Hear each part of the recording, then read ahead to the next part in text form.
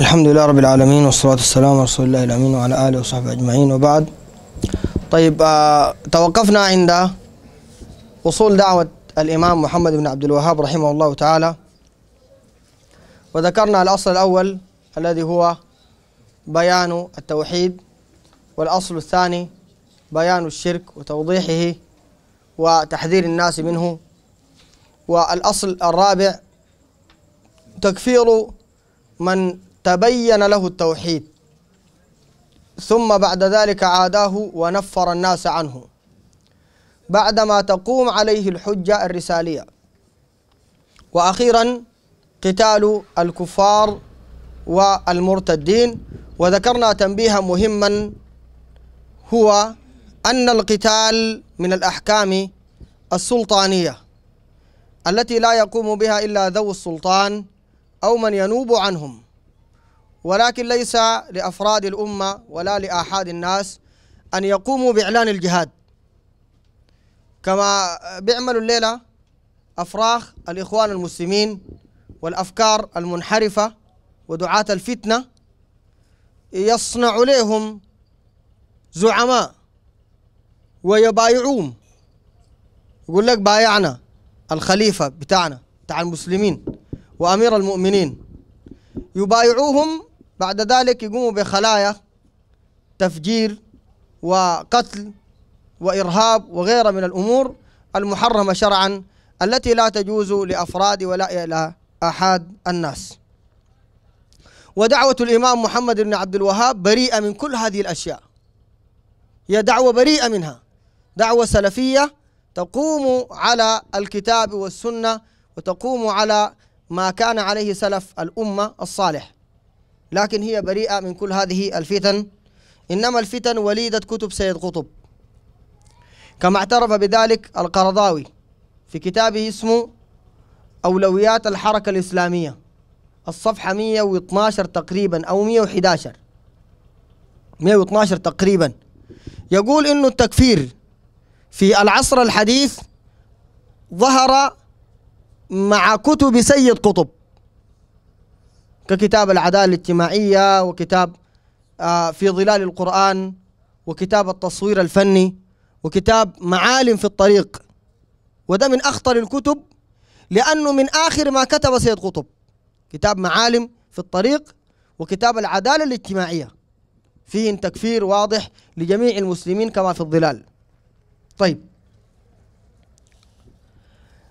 أيضا هنا نقل مهم جدا يعضد مسألة مسألة التكفير. إنه الإمام محمد عبد الوهاب منهجه لا يكفر إلا بعد إقامة الحجة. تستوفى الشروط وتنتفي الموانع. يقول ونحن نقول في من مات تلك أمة قد خلت. ولا نكفر إلا من بلغته دعوتنا للحق. ووضحت له المحجة وقامت عليه الحجة. لاحظ هذا نص كلام الإمام محمد عبد الوهاب.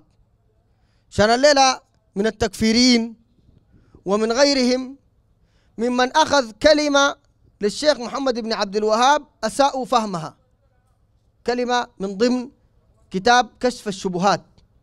أساءوا فهم هذه الكلمة وقولوا الشيخ ما لم يقل. ويجي يقول لك محمد عبد الوهاب آه لا يعذر بالجهل. واحدين يقول لك الإمام محمد عبد الوهاب يكفر بالموالاة. كويس؟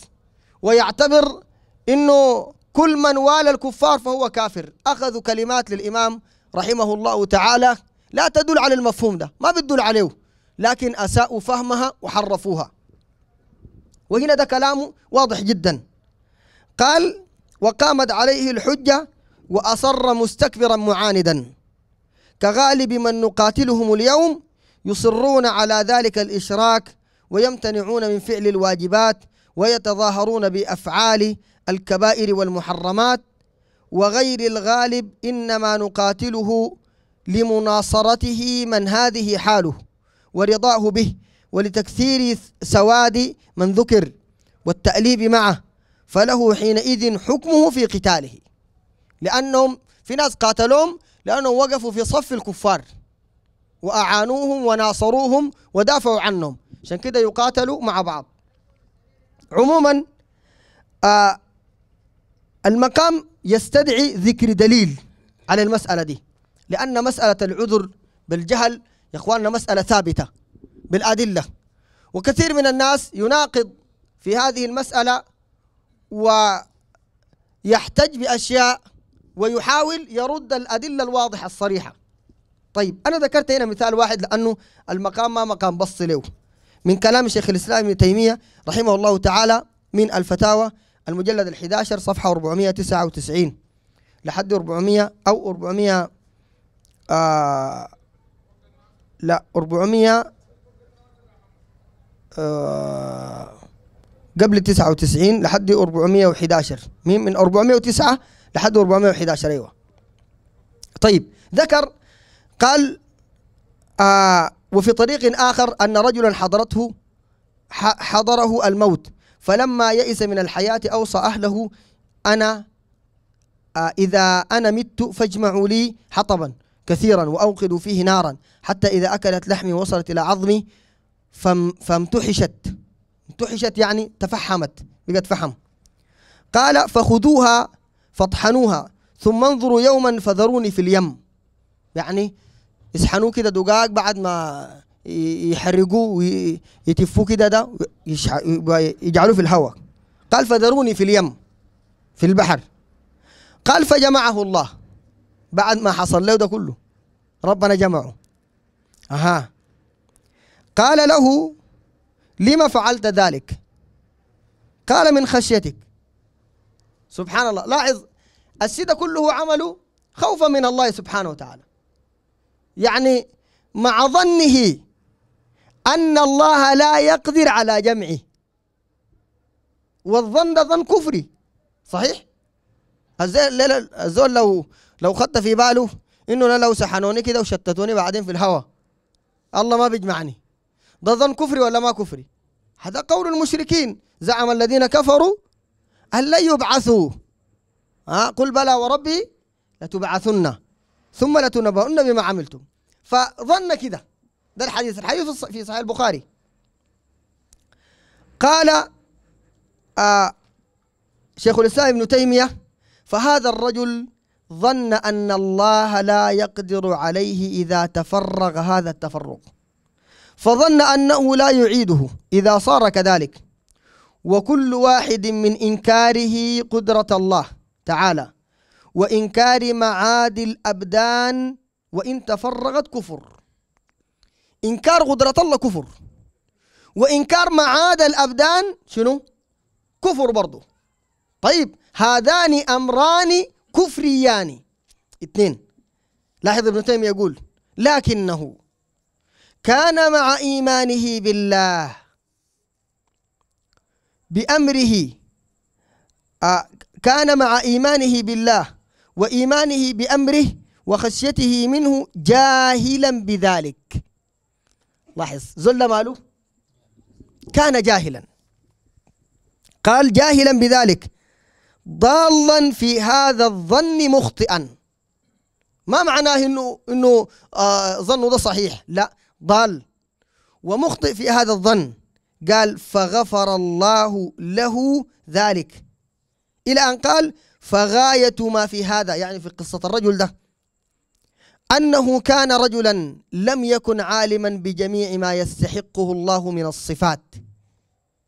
لاحظ الأمر ده بيتعلق بالصفات يعني بالتوحيد صح؟ عشان كده هسه في ناس يقول لك ما في عذر بالجهل في التوحيد. ده كذب. لأنه ده في التوحيد. هذا في الصفات توحيد الأسماء والصفات. ابن تيمية يقول لم يكن عالما بجميع ما يستحقه الله من الصفات وبتفصيل أنه القادر. وكثير انتبه للنقطة دي ده الشاهد من الكلام. قال وكثير من المؤمنين قد يجهل مثل ذلك فلا يكون كافرا.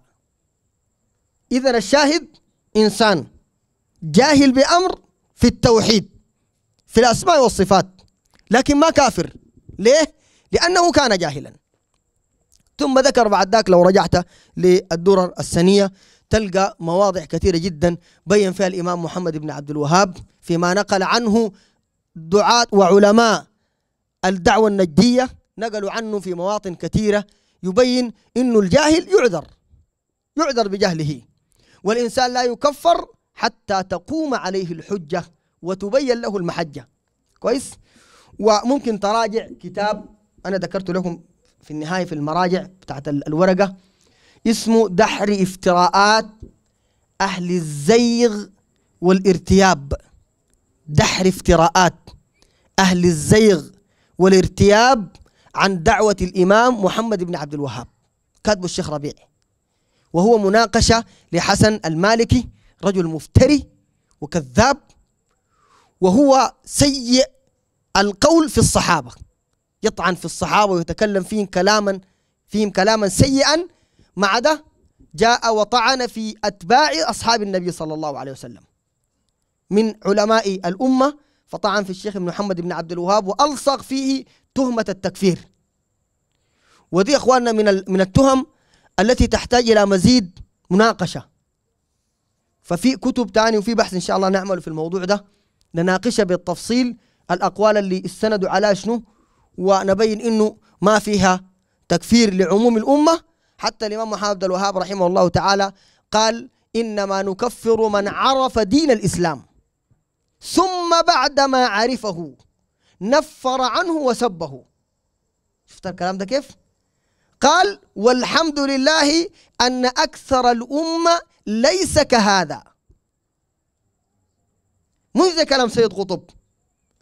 سيد قطب يقول لقد ارتدت البشرية. ونكصت عن لا إله إلا الله. وإن كان البعض منها يردد على المنابر لا إله إلا الله قال فهم مرتدون.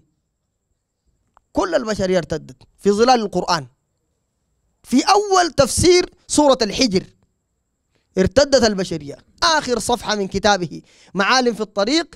قال لا وجود للإسلام. ما في. كفر. سبحان الله. الليلة.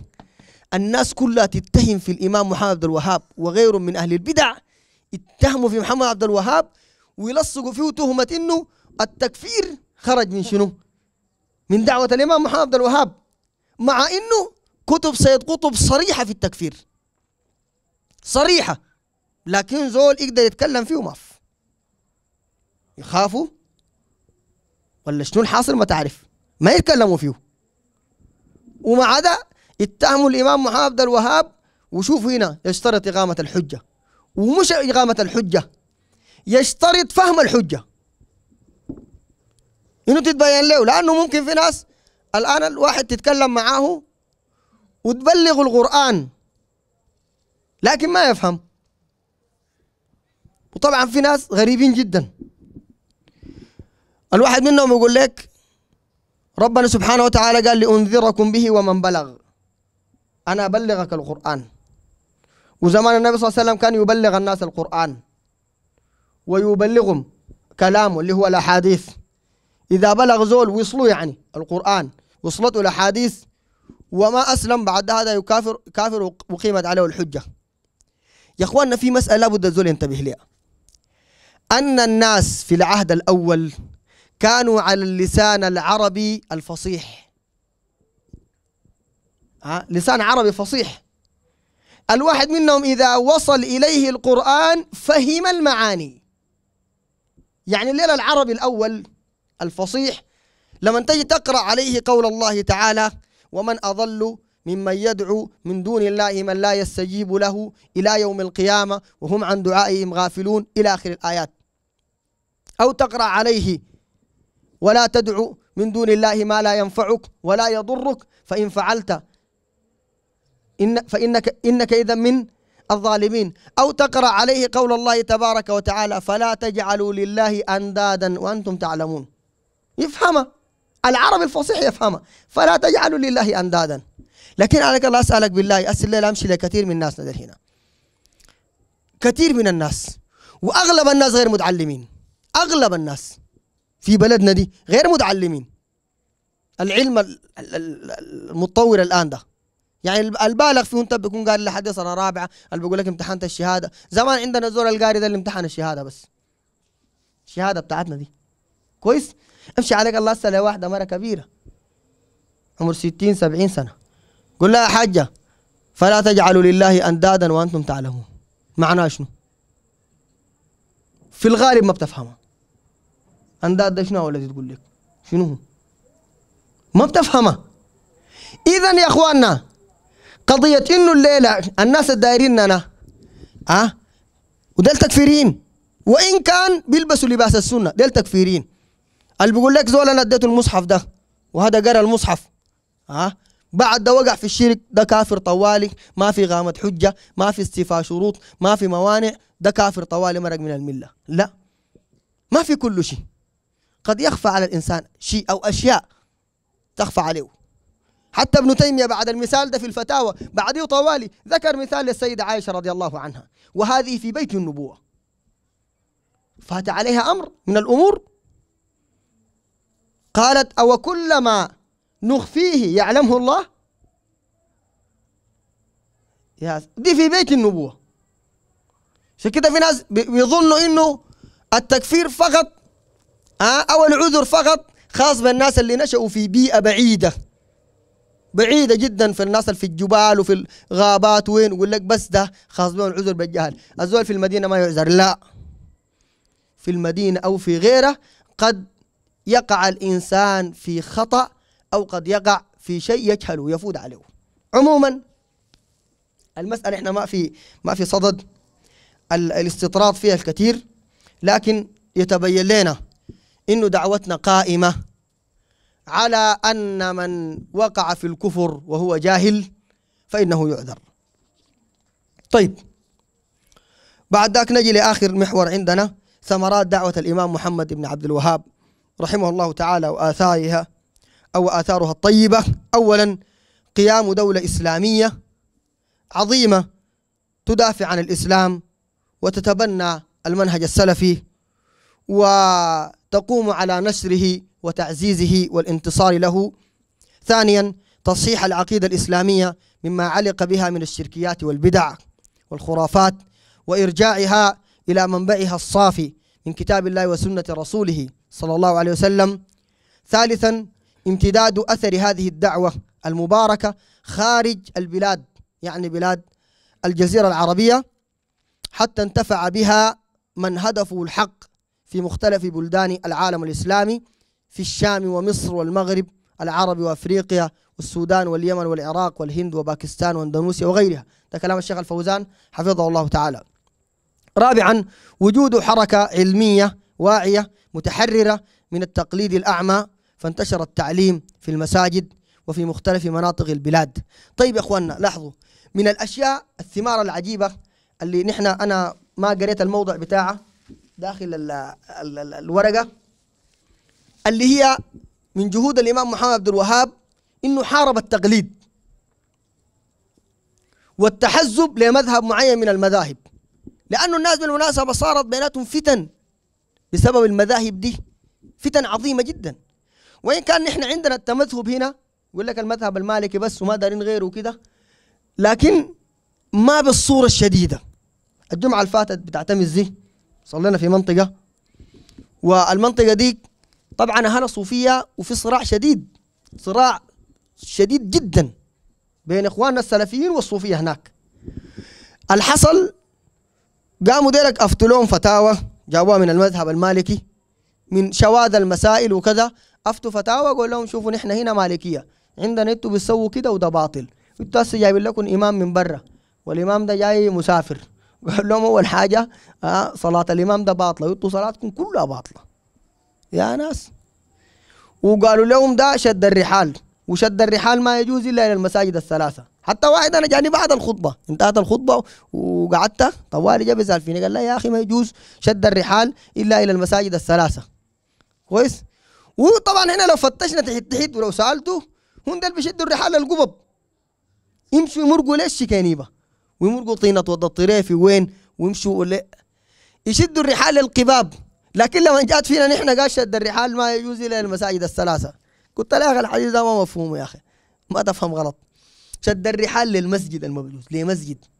يعني أنا أكون ماشي مش ماشي أصلي جمعة ماشي لعلم ماشي لدعوة ماشي أعلم أو أتعلم. لا ده ما شد الرحال المقصود. شد الرحال للمسجد ذاته. أنا أكون ماشي لمسجد. لأنه ده فيه اعتقاد بركة واعتقاد فضل في الأجر. فهمتوا؟ اعتقاد فضل في الأجر معين عشان كده ما يجوز أشد الرحال من هنا أقول ماشي مسجد في المعيلق ولا ماشي مسجد في سنار ولا في ضنقلة لأنه ده مصحوب بشنو؟ باعتقاد إنه المسجد ده ده فيه فضل زايد صح؟ فيه فضل وفيه بركة زايدة كويس؟ وده ما يجوز إلا في المساجد الثلاثة فقط مسجد الأقصى الصلاة فيه ب 500 صلاة مسجد النبي صلى الله عليه وسلم المدينة الصلاة فيه بألف صلاة المسجد الحرم المكي صلاة فيه بمية ألف صلاة. ده فضل زايد. تمام؟ إلا في المساجد الثلاثة. عشان كده ما بجوز أشد الرحال. مش أنا أمشي أصلي ولا أمشي أتعلم لا. ما يجوز أشد الرحال لمسجد للمسجد ذاته إلا للمساجد الثلاثة. فما بعمل حديث ذاته. ما يجوز شد الرحال. كيف يعني؟ والعلماء ديل يقول لك رحلته إلى طلب العلم. راح المشى هناك وراح المشى وين؟ وراح المشى وده يمشي يعلم وده يمشي يتعلم. يعني ده حيكون له يبقى حرام ولا شنو؟ فعموما من الأشياء اللي حارب الإمام محمد عبد الوهاب حارب التقليد إلى المذاهب. لحد أنت عارف ما صار في وقت من الأوقات من سوء التقليد في المذاهب إنه الحرم كان فيه أربع أئمة. يطلع إمام الشافعية يصلي ينزل يطلع إمام الحنفية يصلي ينزل المالكية. الحنابلة. ذكروا الشيخ الألباني في مقدمة صفة الصلاة. ده شر التمذهب والتعصب للمذاهب وحاربوا حتى الأئمة الأربعة هم ذاتهم. لكن طبعا دل من عدم فقههم. يقول لك يا أخي أنتوا ما دام الأئمة الأربعة ما التزمتوا بمذهب واحد معناه أنتوا خامسية وجبتوا لنا مذهب خامس. وهم ما أربعة عشان تقول لي خامس. هي المذاهب منو قال لك أربعة. الأربعة دي المشهورة فقط. لكن هي ما أربعة.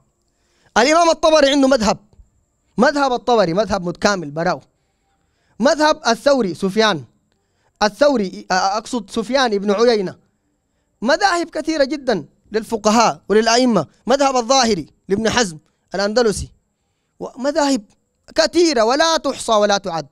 كثيرة جدا. كل إمام لكن اشتهر هؤلاء الأربعة لما جعل الله تبارك وتعالى لهم من القبول. ولما وجد من تلاميذهم من ينشر دعوتهم.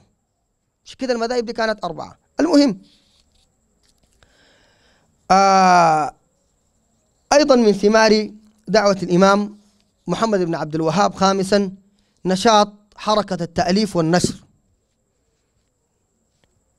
آه فقد قام علماء هذه الدعوة للأمة الإسلامية أو قدم آه رصيدا من الكتب النافعة في الأصول والفروع ومن ذلك مؤلفات الشيخ محمد عبد الوهاب مجموع فتاوى والرسائل لعلماء الدعوة آه، كتب ألفها أئمة الدعوة آه، نشر كتب السلف وتوزيع على المسلمين في موسم الحج وفي غيره ونشر كل مفيد من المؤلفات العصرية. أضفت إلى كلام الفوزان حفظه الله تعالى نقاط قصيرة ثلاث نقاط فقط. الأولى تحقيق الأمن الذي وعد الله أهل التوحيد. هذه من ثمار دعوة الإمام رحمه الله تعالى. تحقيق الأمن. فالآن البلاد التي انتشر فيها التوحيد تحقق فيها الأمن أكثر من غيرها. من البلاد اللي بتعيش تحت الشركيات والخرافات. اثنان تحقيق الاجتماع في الدين ونبذ التفرق الذي أحدث أحدثه الشرك بالله. كما قال تعالى منيبين إليه واتقوه ولا تكونوا من المشركين من الذين فرقوا دينهم. تجد الآن في البلاد الإسلامية اللي ما انتشرت فيها دعوة الإمام محمد عبد الوهاب تلقى طرق وطوائف وجماعات دينية متناحرة يلعن بعضهم بعضا ويكفر بعضهم بعضا وأساءوا إلى الدين وأفسدوا الدين وفرقوا الدين. بخلاف الأماكن اللي انتشرت فيها دعوة الإمام محمد عبد الوهاب تلقاهم كلهم على طريق واحد وعلى منهج واحد وعلى سبيل واحد. أخيرا تحقيق أسباب البركة في الرزق والنماء ورغد العيش. تتمتع آه، البلاد الآن بلاد التوحيد بنماء وتقدم حتى في أمور الدنيا. بنماء عظيم ما شاء الله وعندهم الخير وافر والبركة زائدة لقول الله تبارك وتعالى ولو أن أهل القرى آمنوا واتقوا لفتحنا عليهم بركات من السماء والأرض. فالناس متى وكل ما انتشر فيهم التوحيد كل ما زاد الخير والنماء والبركة من الله تبارك وتعالى. عموما هذه خلاصة الورقة. مراجع الزول يرجع عليها. كتاب دحر افتراءات أهل الزيغ والارتياب عن دعوة الإمام محمد بن عبد الوهاب للشيخ ربيع. كتاب من مشاهير المجددين من مشاهير المجددين للعلامة الفوزان. كتاب محمد بن عبد الوهاب مصلح مظلوم مفترى عليه. تأليف الشيخ مسعود الندوي والكتاب ده كتاب قيم. قدم له شيخ اسمه تقي الدين الهلالي. تقي الدين الهلالي ده كان تجاني زمن طويل. 28 سنة تجاني. عنده كتاب اسمه سبيل الرشاد. آه في هدي خير العباد. الكتاب ده من أعظم الكتب في التوحيد. ومن أجمل الكتب في الخطابة. يعني لو اغتنيت الكتاب ده يساعدك في الخطابة مساعدة عجيبة. سرد آيات التوحيد من أول القرآن إلى آخره. تكلم لك عن توحيد الألوهية من أول القرآن لآخره. يجيب لك أي آية. كويس؟ يسرد لك مثلا آيات في البقرة بعد ذاك يحشد النصوص عليها في موضوع واحد. تبقى شكل مواضيع مواضيع كده كل القرآن. كتاب من أربع مجلدات. أثنى عليه الشيخ ابن باز ثناء عظيما. عموما الكتاب بتاعه ده كتاب قيم جدا لأنه جمع فيه أقوال أعداء الإمام من العرب والعجم. نقل الأقوال كلها ورد عليها بأسلوب علمي متقن. كتاب أيضا الرابع حياة الشيخ محمد بن عبد الوهاب للشيخ حسين خلف خزعل. حسين خلف خزعل. أيضا الشيخ محمد بن عبد الوهاب مجدد القرن الثاني للعلامة أحمد بن حجر بوطامي. دي بعض الأخوان المراجع والإشارات العامة. الورقة دي ما بتكفي لتفصيل الموضوع ده. الموضوع ده مهم لأنه أولا من أهداف دراسة دعوة الشيخ وآثار الطيبة إنه أنت تكون على منهج واضح في الدعوة. لأنه البيئة العاشة محمد عبد الوهاب يا هالبيئة بتاعتك أنت الليلة دي هنا. هذا هدف من الأهداف. الهدف الثاني من أهداف هذه الورقة أننا متى ما كنا على هذا السبيل دعوة التوحيد والتحذير من الشرك ومن البدع متى ما كنا على هذا الطريق سيصيبنا ويواجهنا ما واجه الإمام. محمد بن عبد الوهاب. ما واجهه من أعدائه من الشبهات. فيما يتعلق بالأشياء العلمية. وفيما يتعلق بالأكاذيب والحرب الإعلامية. وفيما يتعلق بالمضايقات. وفيما يتعلق بكل هذه الأمور. عشان كده دراستك لسيرة الإمام محمد بن عبد الوهاب بتجعلك أنت كأنك مجرب. تعرف كيف تتصرف كيف تتعامل وكيف تدعو. أيضا من الأهداف اللي اللي جعلتنا نتكلم عن الورقة دي إنه الآثار الطيبة التي حصلت من دعوة الإمام محمد بن عبد الوهاب نحن نرغب فيها لأنفسنا ولبلادنا ولأهلنا. لأنه ليلة ما شاء الله من دعوة رجل واحد رجل واحد صار الآن أبناؤه وأحفاده وأحفاد أحفاده بل من كل من زار البلاد وكل من دخلها وكل من جاءها عاملا وموظفا وكذا ينعم من الخير ورغد العيش بسبب ما جعله الله من البركة في دعوة الإمام محمد عبد الوهاب. رجل واحد. حتى ذكروا من اللطائف إنه محمد عبد الوهاب جاء الحج كويس؟ وكان يريد السفر لعله والرجوع إلى اليمن لعله. ففي الطريق قابلوا لصوص. قطعوا عليه الطريق وضربوه وأخذوا ما عنده ورجعوه. فرجع فمكث في المدينة. ومكث في الحرم. ودعا الله سبحانه وتعالى أن يجعل البركة وقبول الناس لدعوته. فحصل ما حصل من الخير. دعوة إمام واحد زول واحد. لكن لما صدق مع الله تبارك وتعالى نحسبه صدقه الله جل وعلا وجعل خير وبركة في دعوته مش بس في بلاده حتى البلاد الأخرى التي تأثرت بدعوة الإمام محمد بن عبد الوهاب نالها من الخير بقدر ما جاء عندها من التوحيد. لأن التوحيد سبب من أسباب البركة. عشان كده يا أخواننا كل ما تلقى لك كتاب في الموضوع ده أمسكه وأقراه ينفعك. تكون أنت شغال بفهم وبدراية وبهدف واضح وبسبيل واضح. نكون بهذا وصلنا إلى ختام هذه الورقة العلمية. إلى أن نلتقي إن شاء الله في الورقة اللي تكمل لها حتكون اللقاءات مستمرة. أظن بكرة اللقاء في مبدة تكلم عن آه كرامات الأولياء عند ابن تيمية. ده برضه موضوع مهم جدا. مش بكرة هو؟ ولا ما أدري الإعلان كيف؟ المهم بعديه تاني في لقاء وين؟ أيوة في الدروشاب. في الدروشاب. داك بيتكلم عن شنو عن التوسل مش؟ تمام. طيب لو في سؤال أو سؤالين ما في مانع إن شاء الله. الورقة الثانية مع منو؟ المهم مع واحد من الإخوة اللي معاه الدار يصور ممكن يصور منه. وصية القحطاني بالله قولوا كل ما أنشدتم رحم الإله صداك يا قحطاني